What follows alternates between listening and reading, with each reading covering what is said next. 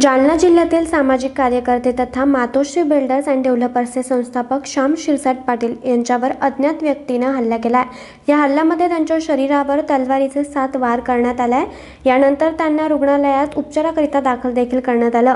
श्याम पाटील जालन्यातील सामाजिक कार्यकर्ते आहेत आणि नुकतंच त्यांनी प्रहार संघटनेमध्ये प्रवेशही घेतला आहे श्याम शिरसाट पाटील हे जालन्यामध्ये राहत असून सामाजिक क्षेत्रात त्यांनी आपलं नाव उंचावलं आहे.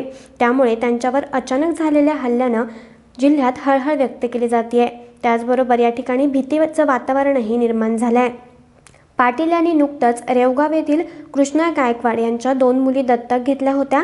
त्यांचं शिक्षण आणि त्यांच्या नोकरीची जबाबदारी त्यांनी घेतली होती. त्यांच्यावर या झालेल्या हल्ल्यानं परिसरात भीतीचं वातावरण निर्माण झालं आहे news reporter Ganesh Jadhav Shivner prime Jalna.